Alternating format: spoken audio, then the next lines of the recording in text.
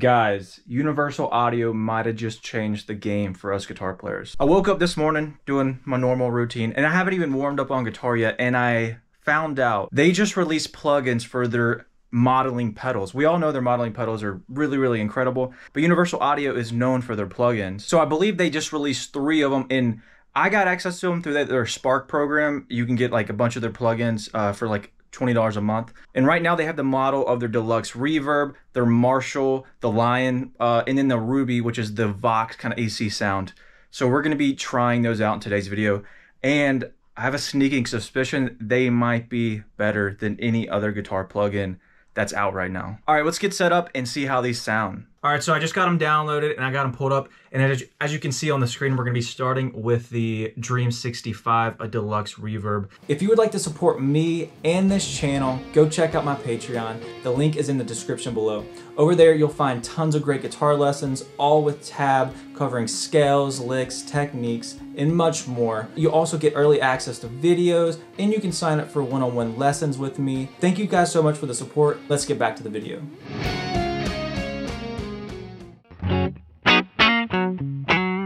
let's get that spring reverb cranked.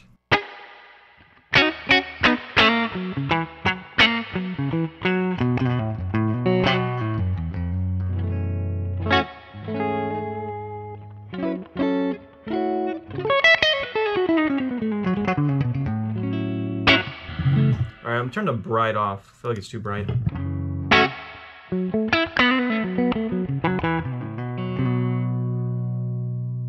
There's a boost.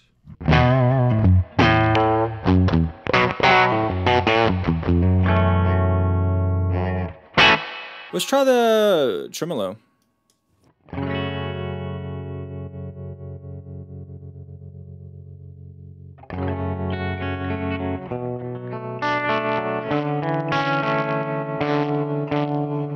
Getting a crack. Is that... Is that this boost? That's nice.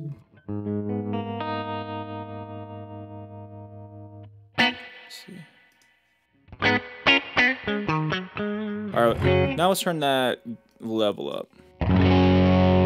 like it goes into instant distortion.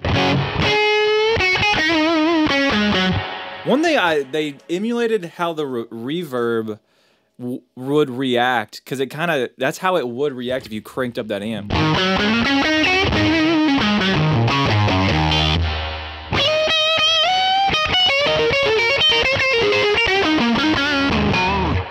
All right, but we got to get going because let's try a few more sounds. Actually, let's go through some presets. We got to try out some of their other amp models. Uh, let's go. Let's go. Yeah, let's go try this one out.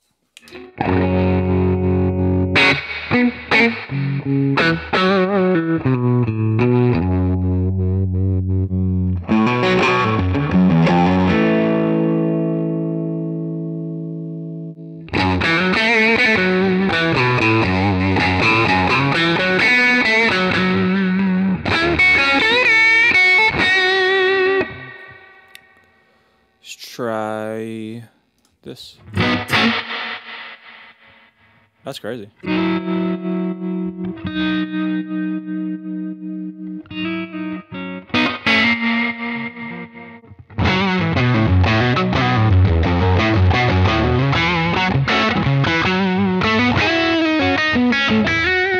Let's go back to the cleans real quick. Let's try whatever this sounds like.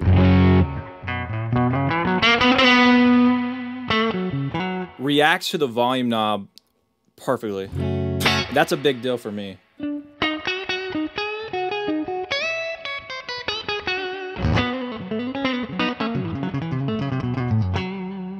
One more, one more, one more. Ooh.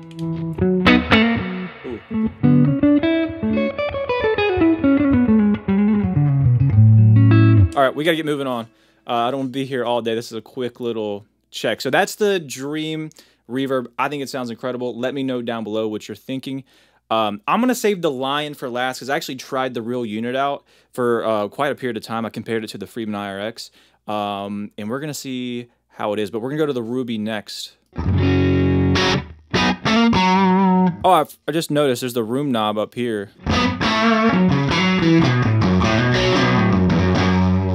So you can easily kind of blow throw that in there, which is wait a second. I just thought of something I'm gonna have to try. I'm gonna have to try running my amp in here and then using the speaker simulations on here with that because that room sound is so so incredible. That's gonna be interesting. I think I well that's assuming I can turn the amp off. We might not be able to do that, I'm not sure. Let's just go through these presets here. Try them out. Sounds incredible, obviously, right? Now, I've never played these units, so I don't know. I would assume this sounds better than the actual unit itself. I, I am not sure, but.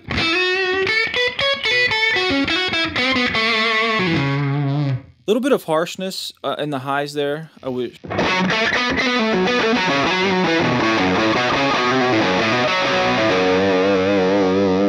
like that.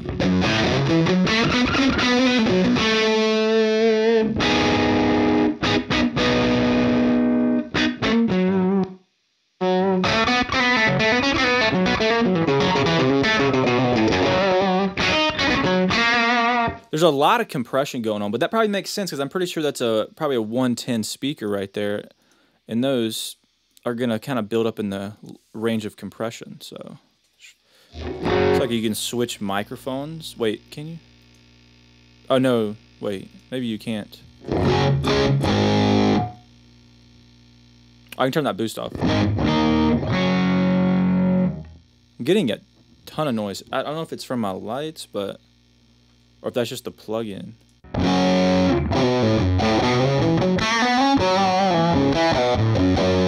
I like that fuzz. They had the the low end emulation pretty good there. Let's try some more presets. Oh, I like that. A little bit of harsh. Let's uh, let's try the treble down. I think. What does that do? Oh, there goes the cut. I'm not very experienced with the voxes. The cut seeming to help.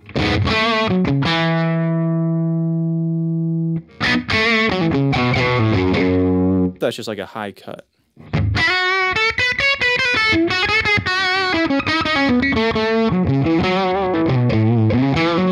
And also, I have no other effects on. It's literally just a plug-in, so that's what you're hearing. You know, say we wanted to move cabs. I guess that's got a little bit bigger of a sound, a little bit more mid.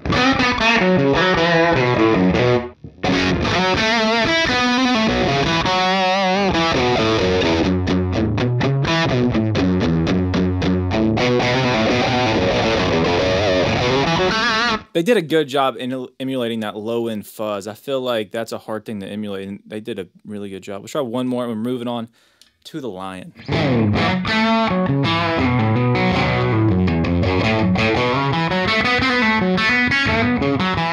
I like that. Turn the room down though.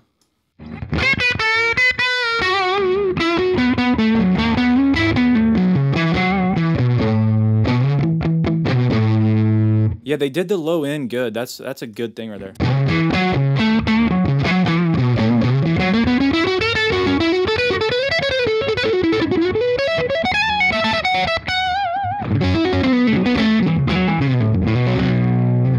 That looks great. Now, I can really speak on this one because I've had the real unit. I'm gonna tell you this right now. Definitely better than the real unit right here. Now, obviously, you can't go out and gig it, but you know, if you're in the at, at the house in the studio recording, let's just uh, go through some of the presets. I was wondering about that. Is there, there is a gate. Okay, cool. Let's just go through the presets right now. Do they have brown? Yes.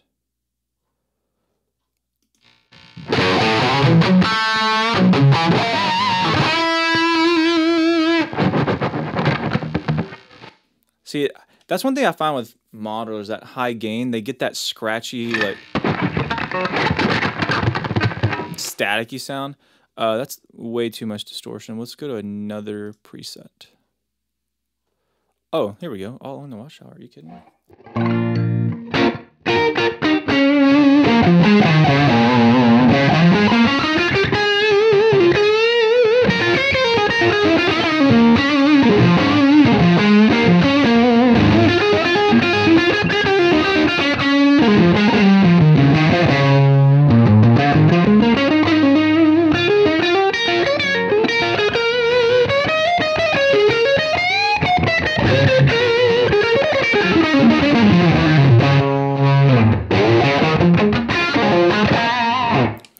Really interested if I can turn off the amp because the you know they're really known for their speaker sound. So I know I can turn the speaker off, but can I turn the amp off so I can use? I doubt they're gonna let me do that because that sounds like it's too good to be true. If I did was able to do that, let's go to another one. That sounds incredible.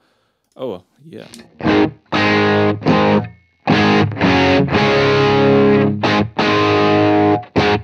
This preset with the knob, my knob on like eight.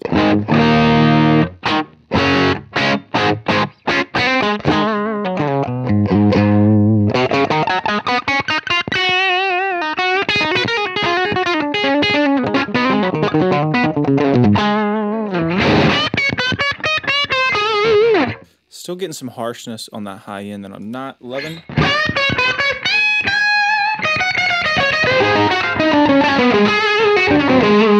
Now we are in the digital plugin world. I could go EQ that out. I, am not gonna do it at the moment. Um, see if switch through.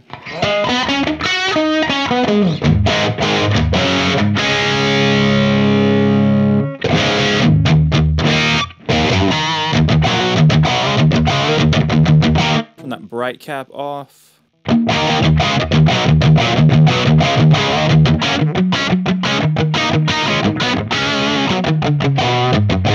Nice. Let's go to the brown.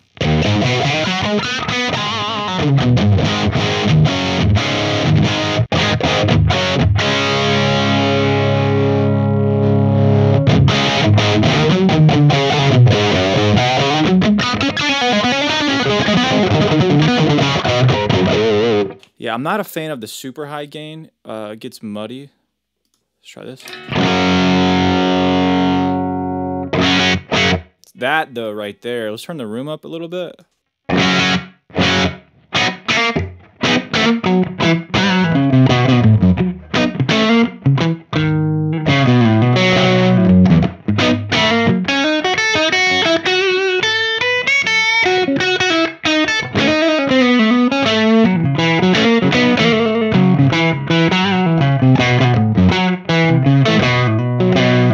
That's awesome. Try out a few more. ZZ.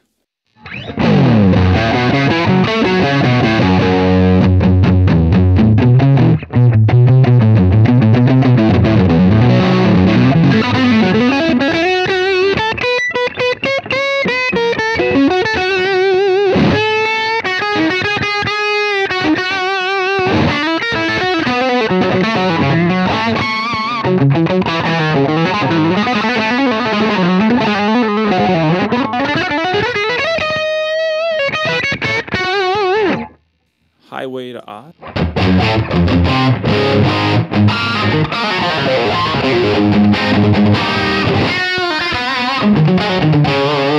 You shook me.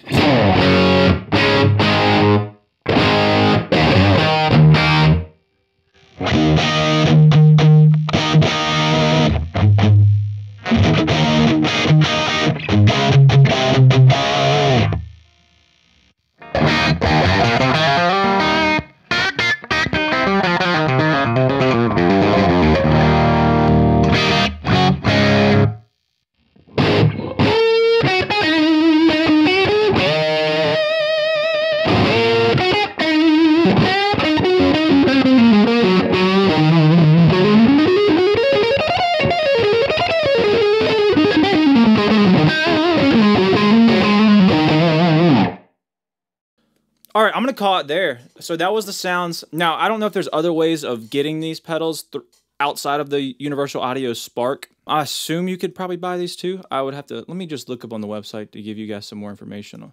Okay, so they are right now. There's each of these plugins. If you were to own them, is hundred and fifty dollars right now, and it says it. That's fifty percent off. It says they want three hundred dollars uh, for these plugins. I didn't know. I kind of maybe should have known that before the video. that does kind of change things. Um, 150. That's I mean I think that's even more than some of the neural or a lot of them. I'm a fan though. Uh, I like it. I like the the look of it. I like the ecosystem of it. Uh, will I use these? I might use these sometimes. You know, if I'm traveling, um, and obviously I'm not going to bring that everywhere. Yeah, I think totally I can pull out some sounds in the Lion that will get me by where I can just plug right into my interface. But as far as owning it, now I've already been using the Spark kind of program for a while.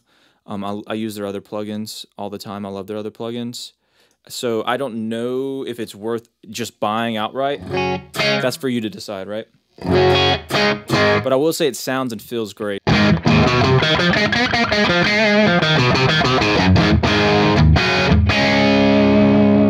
Now I feel like these have a lot of built-in compression going on.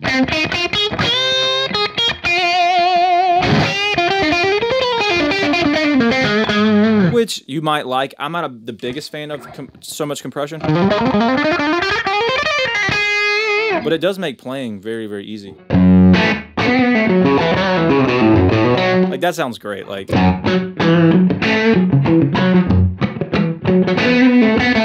So in my opinion, uh, I think I'm going to title this video something about are these the best guitar plugins? I they are very expensive, but overlooking the price, say they like package these all together for 150, I think this would be incredible. Um, I, now looking at the price, like full on, I think that's insane, kind of. Um, hopefully you can get a free trial or something. But I do the Spark. I think it's twenty dollars a month. Totally worth it for me personally. I don't know. You guys decide. Let me know down below what you think of these plugins. I think they're absolutely incredible. Um, it's definitely gonna. I'm not gonna have an urge to go buy another guitar plugin because I can just twenty dollars a month. I get all three of these, uh, and for uh, I can really see the use for me in like producing tracks. Um, you know, going and grab like the Dream and having a beautiful clean sound with awesome spring reverb, and then I can go to another sound uh, real quick to spice it up. I think that's absolutely incredible.